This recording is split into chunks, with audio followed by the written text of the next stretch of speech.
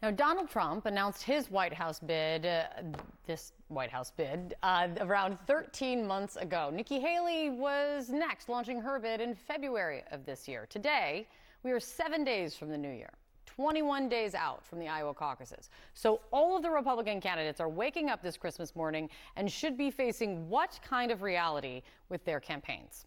Joining us now is CNN political commentator, Republican strategist Alice Stewart, kindly going to play along with what I'm calling the good and bad lists of 2023, keeping with the Christmas theme. So, Alice, for Donald Trump, what is the good reality that his campaign is facing right now? Well, first off, you're on the good list. I'm, I'm sure, Kate. So you're your lists are messed up, then, Alice. uh, look, it, it's exciting to think that 21 days from now, Republicans and I will be traveling over the river and through the woods to a caucus location near them. But it's it's coming, and this is an exciting time. The good thing for Donald Trump is his steady lead. It's one thing for you to uh, be ahead in one poll and things change, but he has a commanding steady lead in these polls in all of these states by uh, over 50% uh, in, in many of these polls. And the fact that he's able to maintain that momentum is good. Look, his base is not going anywhere. They are committed to him. They are standing firm uh, despite all of the other issues that we just outlined uh, all of the legal issues facing him, his base is, is committed. Uh, the, the reality is there are many Republicans that are looking to turn the page and get away from uh, Donald Trump and the past grievances that he is uh, really campaigning on and ready to turn the page for a new, fresh face. So uh, that's one thing that uh, he does have to keep in mind. But that steady lead has not changed since really since he got in the race. That's exactly right. And then for Nikki Haley, the good must be for her the surge in New Hampshire. What else? The fact that she has uh, c- continued to tighten up the polls, you know, the non Trump uh, candidates have been back and forth. She is uh, now doing well uh, in uh, New Hampshire as well as uh, in, in Iowa. And, and here's what the good thing for her is that she understands that in order to not just win in this primary, to win in the general election, you need a more nuanced message. And Haley mm-hmm. has managed to certain issues that are diehard issues for Republicans, like the life issue and the abortion issue.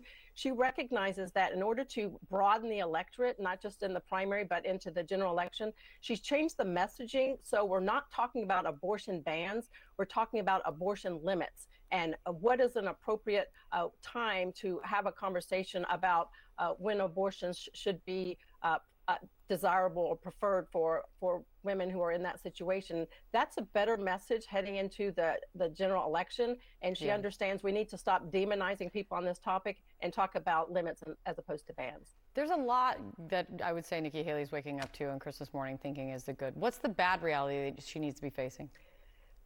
A fractured field, Kate. When so many candidates out there, the there's the pie only goes so far. With Donald Trump at a steady 50, with so many candidates in the race, that div- divides up uh, the number of votes that she can actually get. And I think as we uh, winnow the field, uh, that potentially could be in her favor.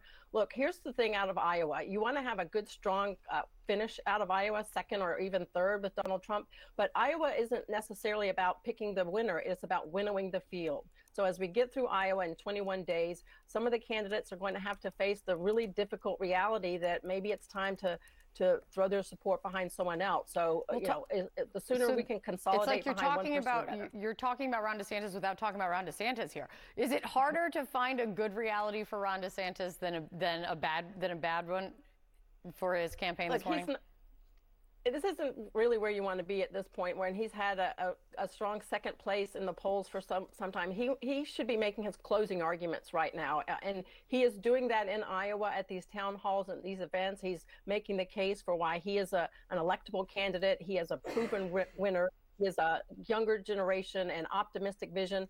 The problem is uh, in the media, he's getting so much coverage on the palace intrigue with staff uh, departures and firings and, and so much of that and finger pointing by former staffers. That is that's not desirable when you're trying to really capitalize on the earned media you're getting outside of the real work he's doing on the ground. Like he's put in the work he's been to all 99 counties and he's really working to meet these people. But when when this palace intrigue really not just makes national news, you have local papers covering this. It, it does uh, raised some concerns. But he does have a strong commit to caucus operation uh, in the works, and the goal is really reinforcing that over the next three weeks and making sure the people that have said they're going to come out do come out on that night. Exactly. It's great to see you, Alice. Thank you so much. Merry Christmas. You too, Kate. Merry Christmas. Thank you.